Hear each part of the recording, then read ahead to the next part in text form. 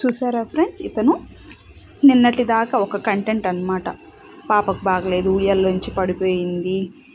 మొన్నటి దాకా అది నిన్నటి నుంచి అది పొద్దున ఇంటికి తీసుకొని వస్తున్నాం అని చెప్పేసి ఒక కంటెంట్ అయితే క్రియేట్ చేశాడు. ఇప్పుడు మళ్ళీ కొత్తగా లత ప్ర సీమంతానికి ముందు అని చెప్పేసేసి ఒక చిన్నది క్లిప్ అయితే వదిలాడనమాట చూసారు ఎంత బాగా ఇతని క్రియేటివిటీ అనేది ఎలా ఉందో?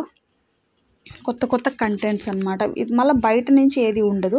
వీళ్ళ ఫ్యామిలీలో నుంచి ఏదో ఒక కంటెంట్ వీళ్ళకి బాగలేదనో వాళ్ళకి బాగలేదనో ఏదో ఒక రకంగా కొత్త కంటెంట్ అయితే క్రియేట్ చేస్తూ మంచి తమ్నైల్స్ పెట్టి వ్యూస్ అనేవి ఎంత బాగా తెచ్చుకుంటున్నాడు అనమాట ఇప్పుడు ఏంటంటే ఈ అమ్మాయి ప్రెగ్నెన్సీ గురించి ఎవరు అడుగుతారో లేదో ఎవరికీ తెలియదు. కానీ నా ప్రెగ్నెన్సీ గురించి మీరంతా అడుగుతున్నారు కదా.